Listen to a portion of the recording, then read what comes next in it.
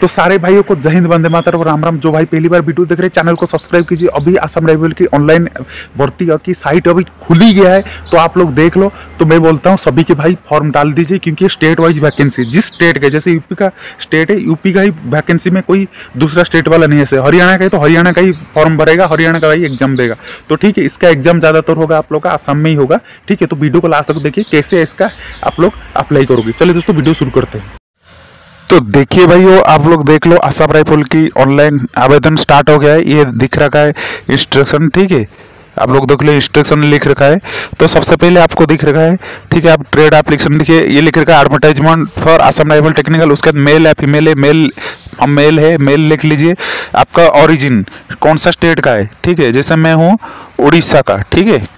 तो आप उड़ीसा का दे दो, उसके बाद ट्रेड, कोई भी एक ट्रेड आपको डालना है, ठीक है? जैसे आपको डालना है किसमें क्लर्क का मेरे को डालना है, ठीक है? क्लर्क में डाल दिया। उसके बाद देखिए, आपका कास्ट अप्लाइड कास्ट कास्ट मेरा जनरल है, ठीक है? इसमें क्या दिख रहा है? रिक्वायर्ड एलिजिबिलिटी, सभी का एलिजिबिलिटी अलग अलग है, ठीक है? बारहवीं पास होना चाहिए, पैंतीस वर्ड पर मिनट होना चाहिए इंग्लिश में जैसे तीस वर्ड पर मिनट इसमें होना चाहिए, ठीक है? ठीक है, उसके बाद आई एग्री में कर दीजिए, ठीक है? ओके कर दीजिए। देख लो भाई, कैसे हो रहा है इसका आवेदन।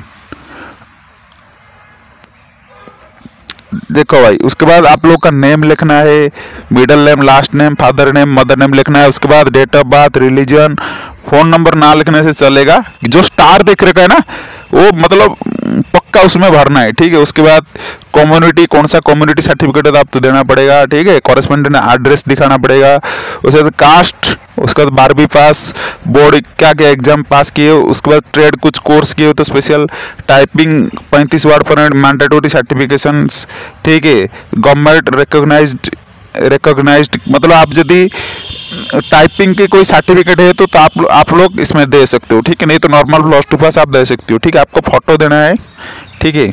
आपको सारे डॉक्यूमेंट्स इसमें लगाना है, ठीक है? फाइनल में आप लोग को डिक्लेरेशन करके आपको सबमिट करना है, उसके बाद आप लोग का, ठीक है?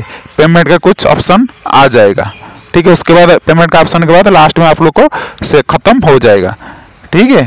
तो भाई आप लोग जल्दी असम राइफल की ऑनलाइन आवेदन स्टार्ट हो गया तो जल्दी आवेदन कर लो।